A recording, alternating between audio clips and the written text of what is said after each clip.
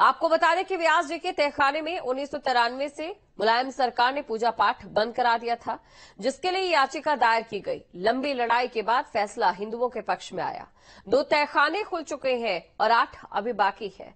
लेकिन इस फैसले को हाईकोर्ट में चुनौती देने के लिए मुस्लिम पक्ष तैयार है और इस पर देखिए हमारी खास पेशकश। दो खुले, आठ बाकी, फैसला झांके।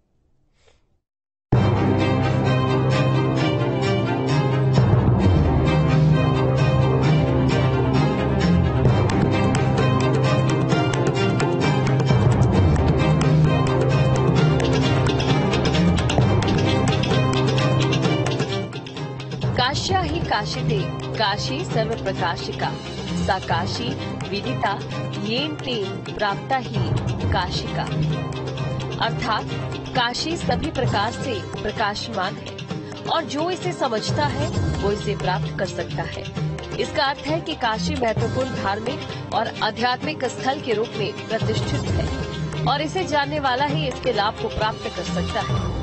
कुछ ऐसा ही हुआ वाराणसी में। जिला जज की अदालत में चल रही ज्ञान व्यापी के ब्यास तहखाने में पूजा के आदेश के अधिकार के मामले में, जहाँ जिला अदालत ने बड़ा फैसला सुनाते हुए हिंदू पक्ष को पूजा करने का अधिकार दे दिया।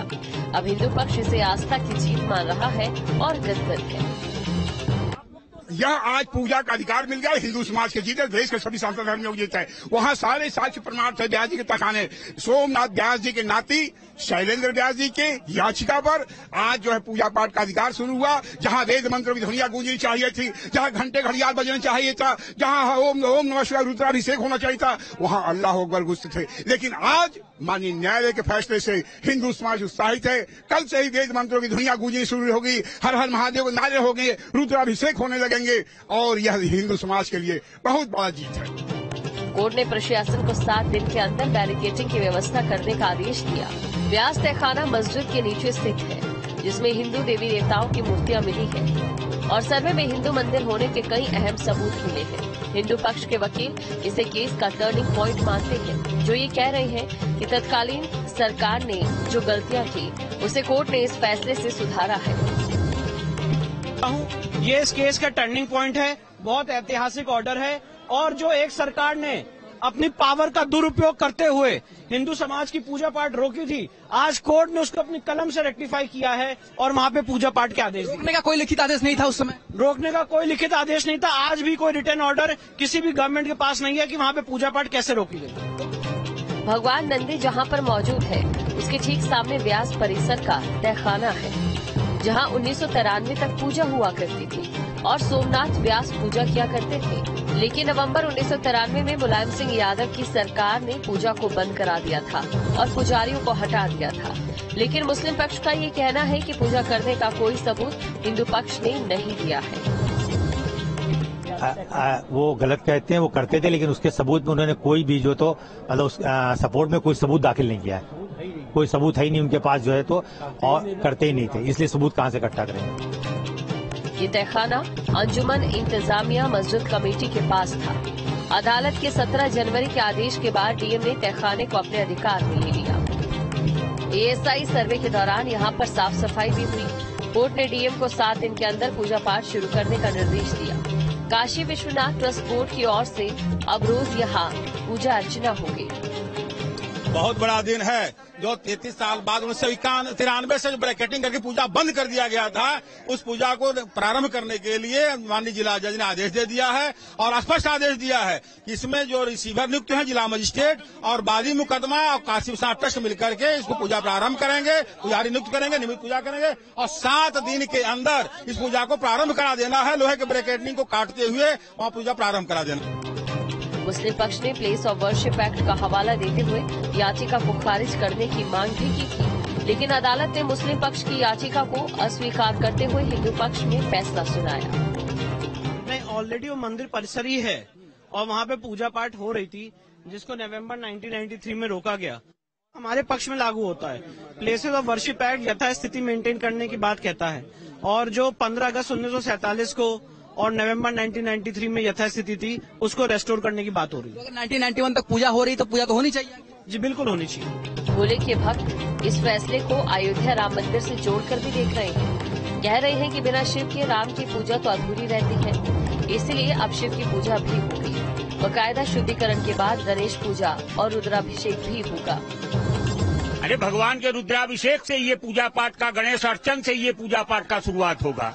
और ये बहुत बड़ा सनातन का विजय है। कितना बड़ा दिन है कितना इंतज़ार था इस दिन का। अरे आज बहुत वर्षों से राम राम बैठे और अब शिव का कार्य होगा। आज बहुत बड़ा दिन है। तो वहाँ पर तो बहुत सारी मूर्तियाँ हैं। सबसे पहले गणेश पूजन से शुरुआत हाँ सबसे पहले गणेश पूजन होगा उसके बाद जो सो सूर्य आदि पंचदेवों की पूजा होगी और उसके बाद जो उसके अंदर भगवान शिव हैं उनकी पूजा की जाएगी। हिंदू पक्ष के लोग इसे टर्निंग प्वाइंट मानते हैं जिनका ये मानना है कि नंदी की प्रतीक्षा खत्म होगी। अब शास्त्रीय पद्धति से पूजा होगी। हिंदू समाज के लिए एक टर्निंग पॉइंट है। हिंद हम हिंदू समाज के लोग खुश हैं और सभी सनातन धर्मी खुश हैं। यह हिंदू समाज के लिए टर्निंग पॉइंट है। पूरी ज्ञान वापी मुक्ति मुक्ति के लिए यह एक एक संग, बिगुल बिगुल बजा संघनाथ का बिगुल है। अब हिंदू पक्ष कह रहा है कि ऊपर नमाज़ पढ़ी जाएगी और नीचे पूजा होगी। ज़मीन को कोर्ट ने हमारा मान लिया। समझिए इस चीज़ों को। अभी तहखाने के अंदर पूजा का अधिकार मिला है। मतलब ये बड़ा हिंदुस्तान में विचित्र सिनेरियो होगा आने वाले दिनों में कि ऊपर नमाज़ पढ़ी जाएगी और नीचे पूजा होगा। और पूजा होता रहा है तिरानवे में, लेकिन उस वक्त मीडिया लाइट नहीं थी, उतना लोग अवेयर नहीं थे। लोग बहुत अपने काम से काम मतलब वो पहले अवेयरनेस नहीं थी तो ऊपर नमाज़ पढ़ी जाती थी और नीचे पूजा पाठ होता था। नवान पाठ होता था, जैसे हमने बताया, जो व्यास का परिवार, वहाँ पूजा पाठ करता रहा है। तखाना उनके ही कब्जे में था। ये जो विरोध हो रहा है वो गलत हो रहा है। हिंदू पक्ष के वकील ये मानते हैं कि मुस्लिम पक्ष इस फैसले के खिलाफ बड़ी अदालत में अपील कर सकता है। निसंदेह ये तो जो विपक्षी है उनको अधिकार है कि वो हाई कोर्ट जा सकते हैं इस विषय पर इसको स्टे कराने के लिए। और इस मामले में मुस्लिम पक्ष हाई कोर्ट जाने की तैयारी में भी है जिसका कहना है कि उन्नीस सौ सैंतीस में मुसलमानों के हक में जो फैसला दिया गया था उसे ओवरलुक किया गया। जो आदेश आया है, उसके खिलाफ हम माननीय उच्च न्यायालय इलाहाबाद जाएँगे। वो आदेश जो है तो 2022 की वकील कमिश्नर की रिपोर्ट, एएसआई की रिपोर्ट और सन उन्नीस सौ सैंतीस का हमारे हक में जो फैसला है, उसको ओवरलुक करके किया गया है। इस फैसले के बाद मुस्लिम पक्ष में रोष देखा जा रहा है। मुस्लिम पक्ष के वकील ने तो ये तक कह दिया कि सब मिले हुए हैं। अब तो ये सब मिले हुए हैं। इन लोगों को जो समझ में आए करें। हम तो कानून की लड़ाई लड़ेंगे। कानून से पीछे नहीं रहेंगे। आप कानून से लड़िए या कानून से पैसे से लड़िए या बिक के लड़िए, जैसे चाहे वैसे लड़िए। लड़ने के लिए तैयार है। क्या इस फैसले के बाद शहर में अमन चैन पर कुछ असर पड़ सकता है? सुनिए, क्या कहा मुस्लिम पक्ष के वकील ने। ये तो डीएम महोदय देखेंगे बताएँगे कि क्या हो सकता है? क्या नहीं हो सकता है यहाँ का अमन अमान कैसे रहेगा कैसे तो रखना है ये डीएम के काम है मेरा काम नहीं है। मैं मैं तो अधिवक्ता हूँ कोर्ट में हमको बहस करने का काम है बहस किए। लोगों से क्या अपील है इस मामले में? हमारी कोई अपील नहीं है अब। पहले हम अपील हम लोग चाहते थे कि सर का अमन अमान कायम रहे अपने लोगों को दबाए रहते थे लेकिन अब हमारी कोई अपील नहीं अब डीएम जाने असल में व्यास जी का तहखाना ज्ञान व्यापी के नीचे स्थित है। एएसआई के सर्वे में इस जगह पर ऐसे साक्ष्य मिले, जो ये बताते हैं कि ये मंदिर है। ये तहखाना ठीक नंदी के सामने है और ये माना जाता है कि नंदी शिव के सामने ही विराजते हैं। उन्नीस सौ इक्यानवे में सोमनाथ व्यास ने ज्ञान व्यापी की ज़मीन पर मालिकाना हक जताते हुए एक मूल वाद किया था। और अदालत में सोमनाथ ने भगवान विश्वेश्वर का सखा बनकर ज्ञानवापी की ज़मीन पर एक टाइटल सूट दाखिल किया। सात मार्च 2000 को व्यास जी का निधन हो गया, लेकिन वकील विजय शंकर रस्तोगी आदि विश्वेश्वर के सखा बनकर मुकदमा लड़ते रहे और अब जाकर इस पर ये फैसला आया। वाराणसी से सुशांत मुखर्जी के साथ टीम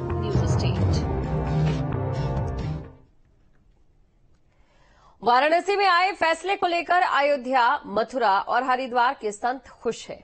जो मानते हैं कि ये फैसला पहले ही आना चाहिए था, सत्य को अधिक समय तक छुपाया नहीं जा सकता।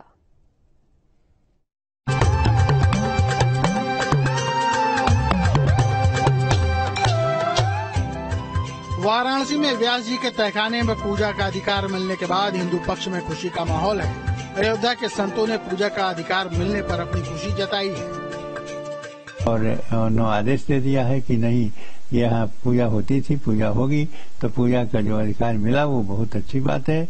और यहाँ यही हुआ कि जो सत्य रहा वही सत्य हुआ, पूजा होती थी, पूजा होगी। यह बहुत ही समझिए कि देश के लिए, देश के लिए खुशी का दिन है आज, क्योंकि मुगलों का आक्रांताओं का, आतंकवादियों का हमारे देश में कभी सम्मान न था, न है, न कभी रहेगा। और उनका समर्थन हमारा देश कभी नहीं करता है। जब तथ्यों के आधार पर ये साबित हो गया है तो ये बहुत खुशी की बात है।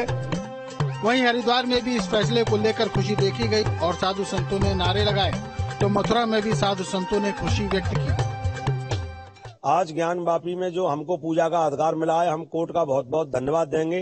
वर्षों बाद हमें पूजा का अधिकार मिला है। हिंदुओं में खुशी की लहर है सभी सेवा अधिकारियों में खुशी की लहर है। आज स्वर्णिम दिन है कोर्ट का जो फैसला जो हमारे लिए आया, भगवान राम के बाद में, आज ज्ञान ज्ञानवापी में जो हमको पूजा का अधिकार मिला है, हमें उम्मीद है आगे भी श्री कृष्ण की जन्मभूमि के लिए भी ऐसे अधिकार हमें मिलेंगे।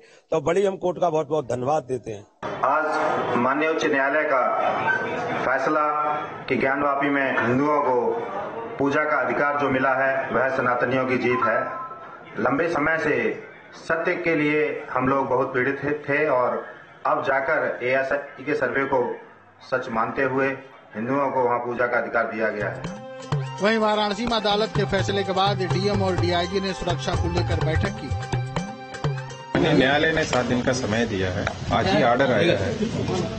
अभी उस पर कोई ऑर्डर पढ़ के वो फिर उसमें आगे की कार्रवाई की जाएगी। मान्य है और यथावत कानून व्यवस्था बनाए रखा जाएगा। इसके लिए सभी इंतज़ाम इस फैसले को लेकर जहाँ हिंदू पक्ष खुश है तो मुस्लिम पक्ष इस फैसले को हाईकोर्ट में चुनौती देने की तैयारी में है, जो एएसआई के सर्वे पर भी पहले ऐतराज जता चुका है। वाराणसी से सुशांत मुखर्जी के साथ टीम न्यूज़ स्टेट